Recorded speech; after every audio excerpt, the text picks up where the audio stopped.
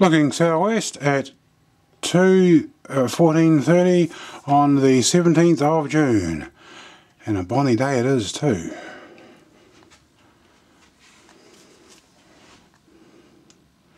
Looking west.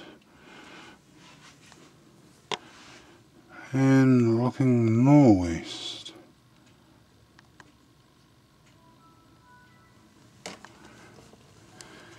And we'll now have a look down at the harbour.